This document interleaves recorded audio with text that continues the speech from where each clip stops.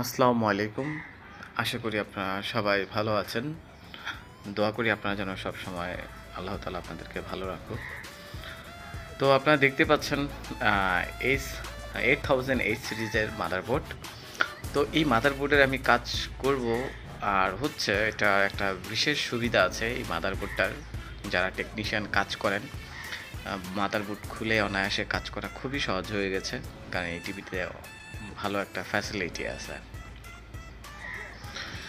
এটাতে আপনি টিকন ছাড়াই দেখা যাচ্ছে আপনি মাদারবোর্ড পাওয়ার সাপ্লাই এনে কাজ করতে পারবেন। ফাইভ টাইম ইরোর যাবে না।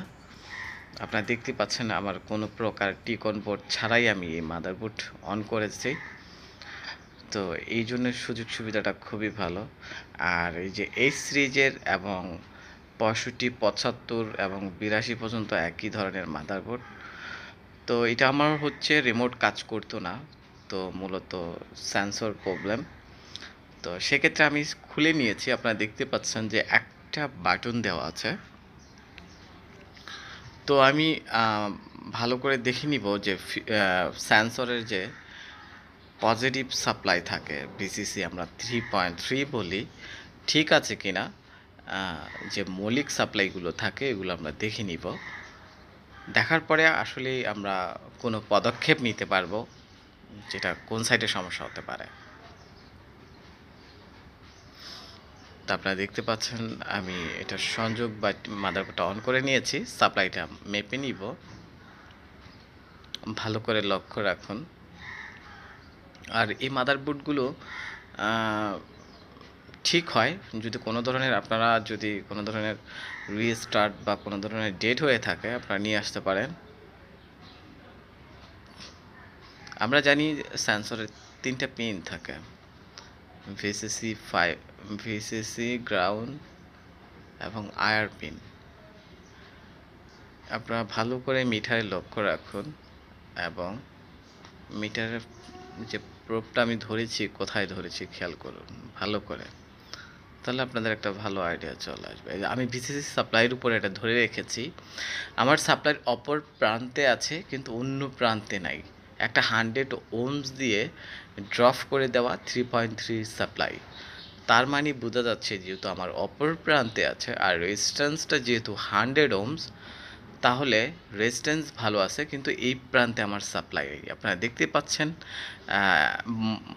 একটু মোটা আকারের যে রেজিস্ট্যান্স রেজিস্ট্যান্স পাশে একটা ক্যাপাসিটাস ছিল নন পলারিটিস এসএমডি ক্যাপাসিটার তো এসএমডি ক্যাপাসিটার থাকা সত্ত্বেও আমি দেখলাম ভালো করে, যেহেতু আমি একা ভিডিও করি, আমি ফুল ভিডিওটা আপনাদেরকে নিয়ে আসতে পারি নাই, কারণ আমার একাই ভিডিওগুলো করতে হয়। এই যে এই প্রান্তে সাপ্লাই চলে এসেছে এবং অন্য প্রান্তেও ঠিক আছে, তার মানে আমার সাপ্লাই প্রবলেম ছিল।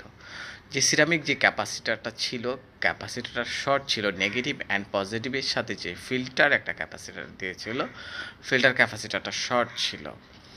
শর্টের ফলে আমার সেন্সরের যেই বিসিসি সাপ্লাই কমন থাকার কথা সাপ্লাইটা ছিল না। তো আপনারা দেখতে পাচ্ছেন যে রিমোটে আমার কন্টিনিউয়াসলি টিকার নিচ্ছে হোয়াইট লাইট ব্লেকিং দিচ্ছে। তো আশা করি আপনারা সহজেই বুঝতে পেরেছেন আসলে মূলত এটা কী সমস্যা ছিল। আর আপনারা যদি কোনো প্রকারের মাদারবোর্ড এবং পাওয়ার সাপ্লাই যদি রিপেয়ার করতে চান, সেক্ষেত্রে আমার স্ক্রিনে দেওয়া নাম্বারে যোগাযোগ করতে পারেন। চাইলে আমার প্রতিষ্ঠানে আপনারা ভিজিট করতে পারেন। ঢাকা বঙ্গবন্ধু ন্যাশনাল স্টুডিয়াম তো আপনারা অবশ্যই ফোনে আমার যে কোনো পরামর্শ নিতে পারবেন আমার আমার মাধ্যমে। তো আপনারা দেখতে পাচ্ছেন, আমি আপনাদেরকে বলে দিয়েছি মাদারবোর্ডটা খুবই খুবই ভালো একটা মাদারবোর্ড এবং খুবই দ্রুত নষ্টও হয়, কারণ আমি অলরেডি অনেকগুলো পেয়েছি সেই জন্য এই কারণে এই কথাগুলো বলা। আর আপনারা আমি সেট করে নিয়েছি, আপনারা দেখতে পাচ্ছেন, খুলে কাজ করে একেবারে সেট করে নিয়েছি।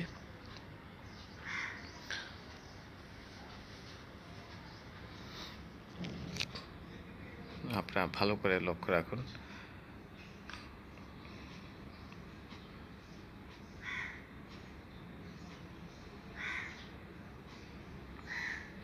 তো আমার ভিডিওটা যদি ভালো লাগে লাইক অ্যান্ড সাবস্ক্রাইব করে জুড়ে থাকবেন। অন্যকে দেখার সুযোগ করে দেবেন। খোদা হাফেজ, দেখা হচ্ছে নতুন কোনো ভিডিও